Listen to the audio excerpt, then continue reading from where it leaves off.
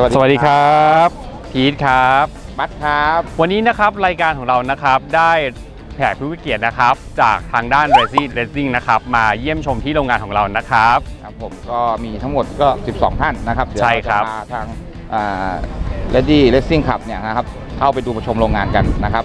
ได้ครับเดี๋ยวพาสาวๆ ทั้งหมด 12 ท่านนะครับ ไปดูกันครับดูว่าว่าโรงงานเราเป็นยังไงใช่นะครับมาตรการเป็นยังไงบ้างถูกต้องใช่เลยครับพี่บัตรครับ งั้นเดี๋ยวเราไปดูพร้อม ๆ กันนะครับครับผมเชิญครับเชิญเลยครับ สวัสดีครับ สวัสดีครับก็อ่าชื่อกระแตนะคะอ่าอยู่รังสิตนะคะ เป็นประธานกลุ่มนะคะ ก็วันนี้มาที่โรงงานนะคะ พาทีม Lady Racing Thailand มาที่โรงงานนี้นะคะ พี่กระแตครับ ไม่ทราบว่าการรวมตัวของกลุ่มของ Ready Racing เกิดมาได้ยังไงครับ เกิดจากอะไรครับ ก็เกิดจากอ่าที่เราได้มีโอกาสได้ไปลงสนาม แล้วเราคิดว่าก็ยังมีอีกหลายคนที่อยากเป็นเหมือนเรา เราก็เลยจัดตั้งกลุ่มขึ้นมา ซึ่งก็มีอ่าผู้หญิงที่อยู่ในประเทศไทยที่หลาย ๆ คนทุกจังหวัดได้แบบ มีความชื่นชอบเหมือนเรา ก็มารวมเป็นกลุ่มกลุ่มนี้ค่ะครับเดี๋ยวเราพาสาวๆทั้ง 12 ท่านนะครับ จากกลุ่ม Ready Racing Club Thailand นะครับ ไปเยี่ยมชมโรงงานของเรากัน เดี๋ยวตามมาเลยนะครับ เชิญเลยครับ process แรกนะครับ ก่อนที่เราทำเริ่มการผลิตก็คือตัว raw material นะครับ หรือที่เรียกว่าอลูมิเนียม ingot นะครับ เป็นยังไงครับพี่บัสครับก็อ่าตัวอลูมิเนียมตัวนี้ก็จะนำเข้ามาทั้งหมด 100%นะครับ แล้วก็จะมีเบอร์ของเขาติดอยู่นะครับ ว่าเราใช้เบอร์อะไรยังไงนะครับเกรดที่เท่าไหร่ นะครับส่วนเราที่เราใช้เนี่ยเบอร์นี้จะเป็นเกรดที่ดีที่สุดนะครับ ของอลูมิเนียมในปัจจุบันที่ใช้อยู่นะครับก็ส่วนใหญ่ก็จะมาจา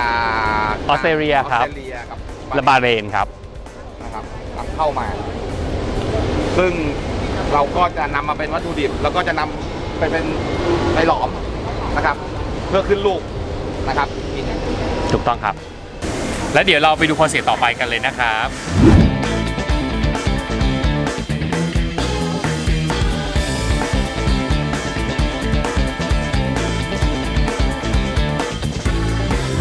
ครับหลังจาก process casting เราเรียบร้อยแล้วนะครับเราจะมาดู process อีกหนึ่ง process ของเรานะครับเรียกว่า 3VF นะครับคือ process งานรีดนะครับซึ่งเป็น process ที่เรานำเครื่องเข้ามาจากเยอรมันนะครับเป็นเจ้าเดียวในเมืองไทยที่ใช้เทคโนโลยีนี้นะครับเป็นเทคโนโลยีเดียวกับอากาศยานเลยนะครับพี่บัสครับดังนั้นเดี๋ยวเราไปดูพร้อม ๆ กันนะครับเชิญเลยครับเชิญเลยครับ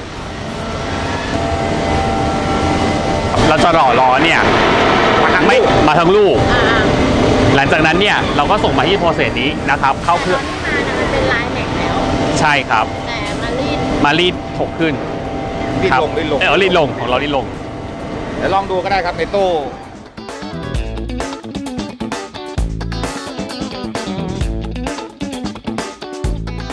ครับแล้วนี่คือโปรเซส 3VF ของเรานะครับ หรือที่ว่าลอรีดนะครับ ต่อไปเดี๋ยวเราไปดูโปรเซสถัดไปนะครับ ที่เราจะไปดูกันนะครับ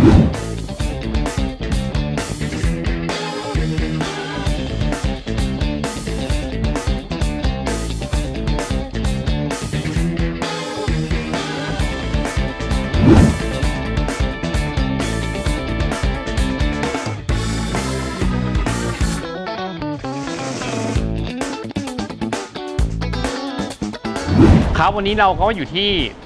ทดสอบทดสอบล้อนะครับ เราจะเอาล้อก๊อปปี้หรือล้อเสมือนจริงนะครับ มาทดสอบให้กับทาง Lady Racing Club Thailand ดูกันนะครับ พี่เกณฑ์นิการครับล้อตัวนี้ครับ เราใช้ความสูงที่เท่าไหร่ครับอ่าสเปคของขอบ18 นะครับ ความสูงลมยางอยู่ที่ 50 psi ด้วยความสูงที่ 375 มิลนะครับ ด้วยน้ำหนักที่เทสก็1,008กิโลกรัมนะครับ ก็คือตันกับอีก 8 กิโลครับ1,008นะครับกิโล เดี๋ยวมาดูกันนะครับว่าเดี๋ยมดูครับว่าเป็นยังไง เป็นยังไงครับ ครับ เดี๋ยวเชิญดูเลยครับ ครับเบื้องต้นเราก็จะตรวจสอบลมยางก่อนนะครับ เพื่ออ่าเป็นไปตามมาตรฐานนะครับยอบยอบยิงยิงครับลมยางก็ 50 นะครับ psi นะครับตอนนี้อะไรเราครับผมตอนนี้ก็ได้ 375 มิลนะครับยาพร้อมหรือยังคะเตรียมตัวเลยนะ ก็จะนับหนึ่งถึงสามนะครับแล้วก็จะปล่อย ด้านด้านหน้านี่อย่าลืมนะเราเป็นหลบตรงนิดนึงครับแล้วก็เดี๋ยวเราเป็นคนละนี่นะครับจริงเวลาท้องถนนครับเป็นก็จะนับหนึ่งถึงสามครับ ครับเชิญเลยครับพี่กัญญาสา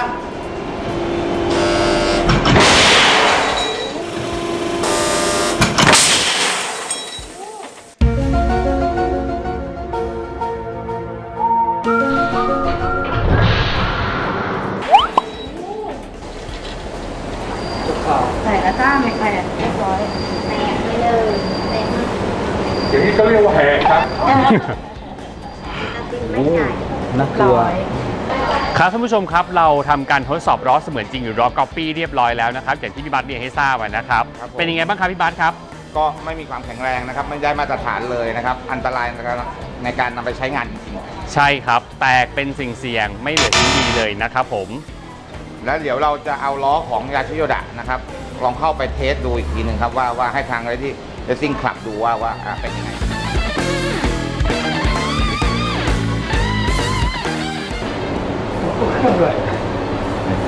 ก็50 PSI นะครับก็เท่าเดิมเท่ากันกับโมเดลก่อนอันครับเออสองสาม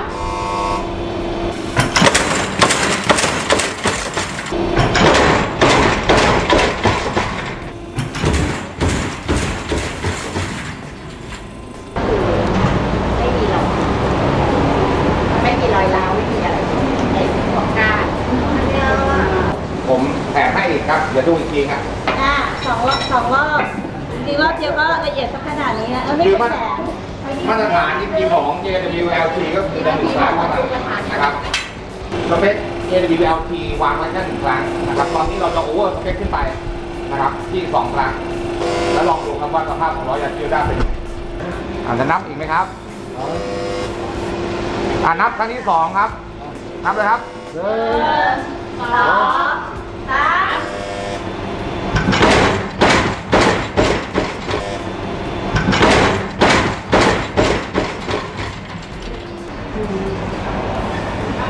ก่อนก่อนจะเข้าไปดูผมถามว่าพอหรือยังครับอยากดูอีกไหมพอค่ะเพราะว่าจากที่เรามองดูการผลิตค่อนข้างมั่นใจในวัสดุอ่าผมเปิดให้ดูครับก้านที่เป็นก้านที่เก่านะคะจากรอบแรกก็คือรอบที่เก่าก็เสียงสปริงก้านนะคะก็คือมีใครอยากดูอีกรอบไหมครับอะขออีกรอบขออีกรอบขออีกรอบนะนะคขรับออีกรอบให้น้องมาดูหน่อยเอ้ยเลยนี่ดูเดี๋ยวหาว่าไม่เชื่อห นี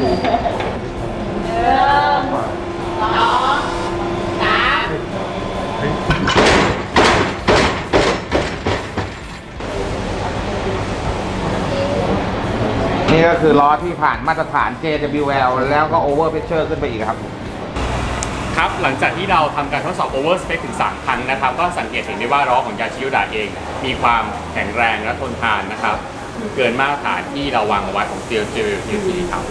ครับผมก็คืออย่างที่เรียนครับล้อแม็กนะครับไม่ใช่แค่ล้อที่อยู่ในรถ มันเป็น safety part อย่างหนึ่งนะครับเมื่อเกิดอุบิเหตุเกิดอุบัติเหตุหรือเกิดอะไรที่ไม่คาดฝันนะครับตัวล้อเนี่ยก็สามารถที่จะ support ในเรื่องของแรงกระแทกต่างๆ เพื่อให้เราสามารถ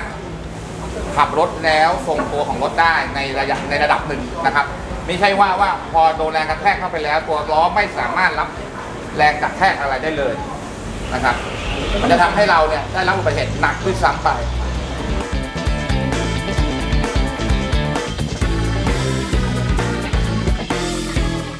ค่ะวันนี้นะคะก็ขอขอบคุณบริษัทยาชิโยดะนะคะ เป็นโรงงานล้อแม็กนะคะ ก็ขอบคุณที่ให้ทางทีม Lady Racing Thailand นะคะ ได้เข้ามา ส่วนร่วมได้เข้ามาดูโรงงานนะเจนะใช่วันค่ะนี้ในในวันนี้นะคะ เพราะว่าเราจะได้ดูคือกับล้อแม็กที่มีโรงงานที่เป็นการผลิตล้อแม็กที่มีคุณภาพที่สุดในประเทศไทยใช่ค่ะก็ขอขอบคุณที่ให้เกียรติทางให้ Lady Racing Thailand มาก ๆ เลยค่ะ ขอบคุณค่ะ ครับหลังจากที่เราไปดูกระบวนการผลิตในโปรเซสในโรงงานเรามาเรียบร้อยแล้วนะครับพี่บัสวันนี้เราก็จะมาดูกันกิจกรรมเล็กๆน้อยๆที่เรามาฝากท่านผู้ชมก็คือการทายน้ำหนักล้อน้ำหนักของล้อครับว่าว่าน้ำหนักของล้อที่เรานำมาเนี่ยน้ำหนักอยู่ที่เท่าไหร่นะครับเป็นล้อที่ผ่านการผลิต 3 VF นะครับที่เราเข้าไปดูในโรงงานนะครับลองมาดูกันครับว่าว่าเขาจะทาง Lady Racing Thailand จะทายถูกไหม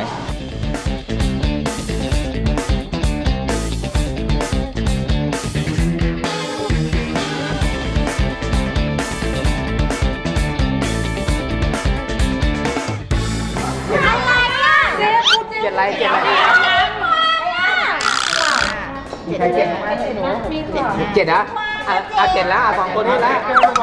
เจ็ดเดินมาหน้าอะเจ็ดอะสองคนอะเขียเจ็นดว่าเจ็ดอายอะต้องเป็นเจ็ดปอโทอะได้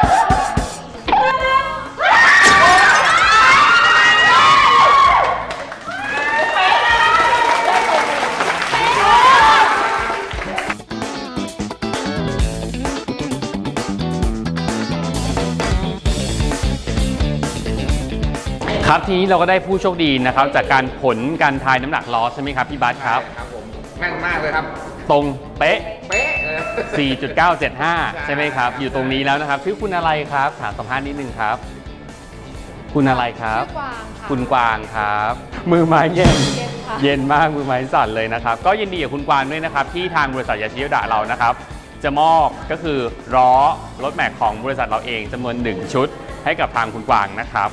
และไงเดี๋ยวให้คุณกวางไปเลือกนะครับ ว่าอยากได้ลายไหนนะครับ ยินดีด้วยครับ ขอบคุณครับ ขอบคุณครับ ก็อ่าในนามของประธาน Lady Racing Thailand นะคะ ก็ขอขอบคุณบริษัทยาชิโยดานะคะ ที่ให้เรามามีส่วนร่วมในวันนี้นะคะ ได้เยี่ยมชมโรงงานล้อแม็กนะคะ ขอบคุณมากนะคะขอบคุณครับแล้วก็ทางยาชิวดาเองนะครับก็ต้องขอบคุณทาง Daily Racing นะครับที่มาเยี่ยมชมในวันนี้นะครับแล้วก็มีของ เล็กๆ น้อยๆมอบให้กับทาง Racing Thailand ด้วยครับ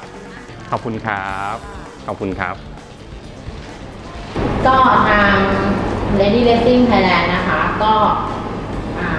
ถ้าเพื่อนๆ คนไหนหรือว่าสมาชิก Lady ท่านไหนที่อยากเข้าร่วมในทีม